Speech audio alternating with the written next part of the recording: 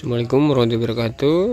Baik Sobat Agro hari ini kita akan berbagi tentang cara penggunaan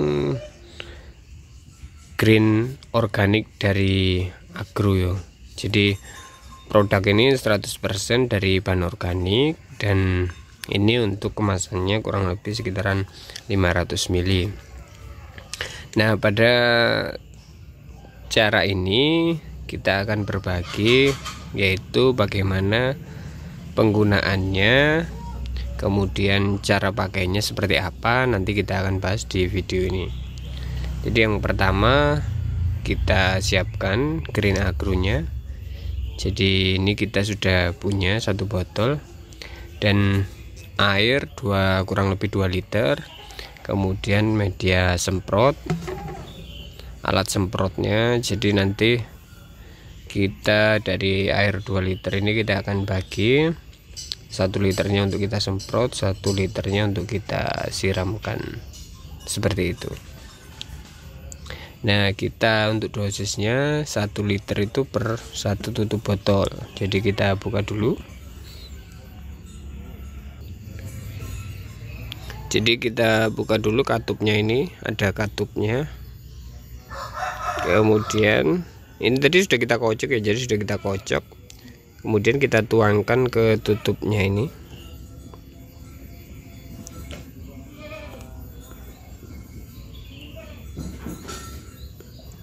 Oke satu tutup botol ya. Kita tuangkan ke campuran airnya. Kita tambah lagi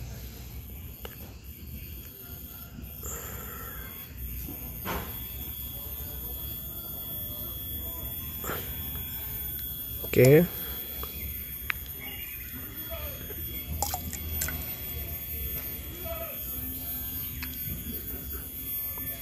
Situ kita tutup kembali. Jangan lupa segelnya.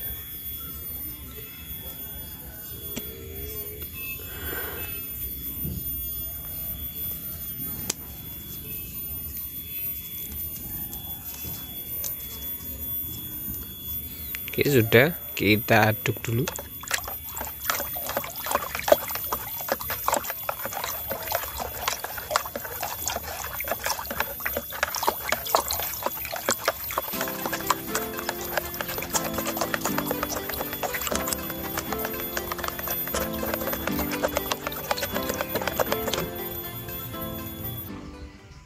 Nah ini sudah kita isikan ke media semprotnya. Jadi nanti kita pakai dua. Jadi ada dua metode.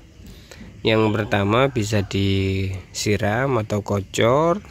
Kemudian yang kedua ini kita pakai metode semprot. Nah untuk tahap pertama kita akan pakai media siram. Nanti kita lihat hasilnya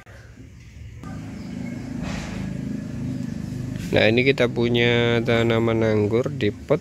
Kita siram dulu secukupnya.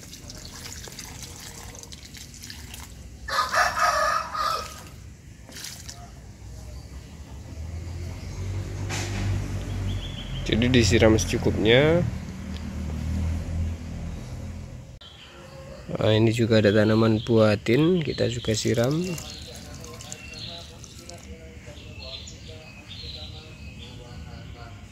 jadi pemakaian airnya menyesuaikan saja bisa saja satu liter itu kita bagi dua untuk dua tanaman tergantung ukuran tanamannya. Nah, untuk cara kedua kita bisa pakai metode semprot. Jadi larutan yang sudah kita campur tadi kita semprotkan ke tanaman seperti ini. Mode spray ke daun batang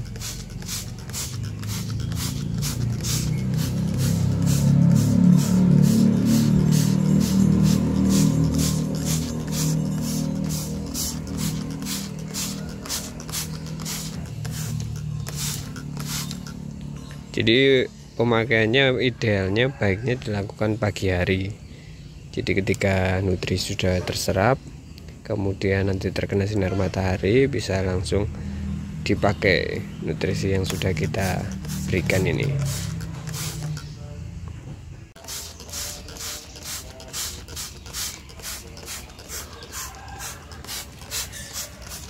Jadi kita bisa semprotkan ke batang ke daun.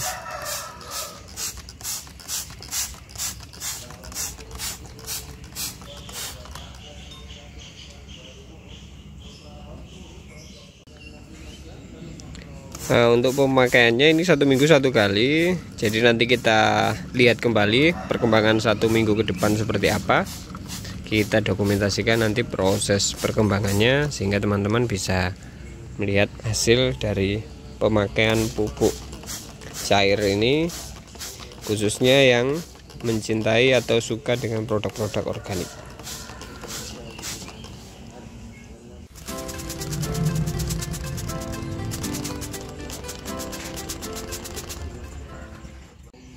Di pemakaian 1 liter tidak harus habis semua tapi bisa dipakai saat 3-4 harian. Kalau jumlah tanamannya sedikit tapi kalau tambah tanamannya banyak otomatis menyesuaikan kebutuhan. Seperti itu